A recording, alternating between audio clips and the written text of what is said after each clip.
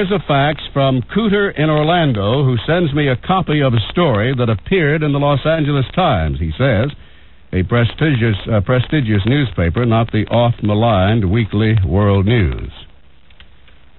Quoting the story In retrospect, lighting the match was my big mistake, but I was only trying to retrieve the gerbil. Eric Tomaszewski told bemused doctors in the severe burns unit of Salt Lake City Hospital. Tomaszewski and his homosexual partner, Andrew Kiki Farnham, had been admitted for emergency treatment after a felching session had gone seriously wrong. I pushed a, pushed a cardboard tube up his rectum and slipped Raggett, our gerbil, in, he explained. As usual, Kiki shouted out, Armageddon! My, my cue that he, he'd had enough.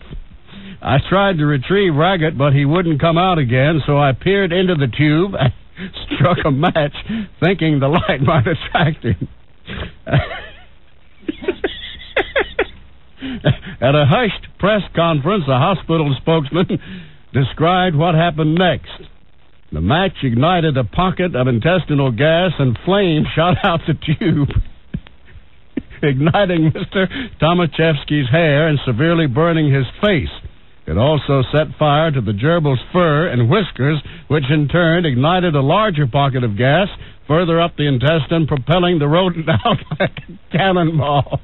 Armageddon! Armageddon! Armageddon!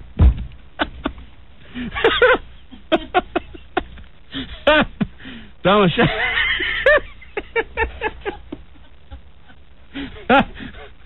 Tomaszewski suffered second degree burns and a broken nose from the impact of the gerbil. While Farnham suffered first and second degree burns to his anus and lower intestinal tract. Armageddon!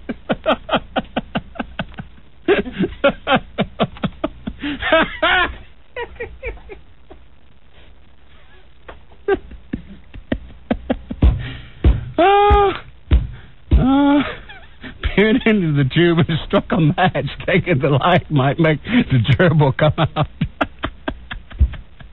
so that's what felching is all about. Armageddon! Who says that? I didn't.